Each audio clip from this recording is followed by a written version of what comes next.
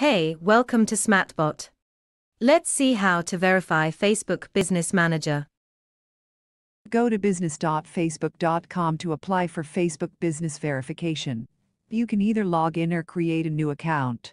Your Facebook and Business Manager should be from the same account, and admin would be having the access to edit. Click on the Business Settings icon and go to Business Info section and provide your complete business details and save.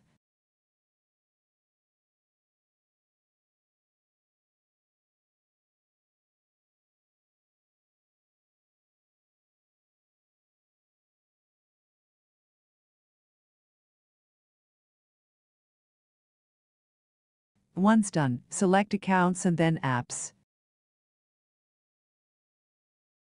Now go to developers.facebook.com and select My Apps.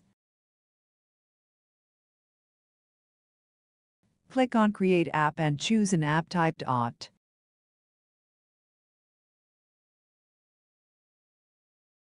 Provide the display name and choose the business account for which the app should be connected. Once done, click Create App and enter your password. Now, go to Business Settings page and refresh. Your app should be displayed.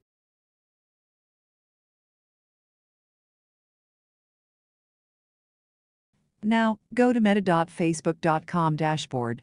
In Settings, click Basic. Provide your company's privacy policy URL and terms of service URL. Save the changes once done.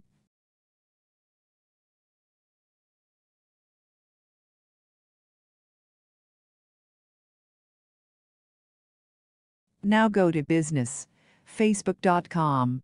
Go to the Security Center. Check if the Start Verification button is enabled. If yes, click on it. At 1.25, after Start Verification is enabled, your business details will be automatically filled as you have entered the information in Business Info.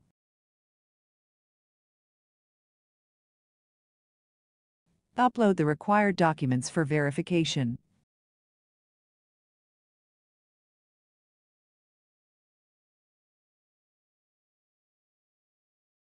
You can choose text, email or call to get a verification code.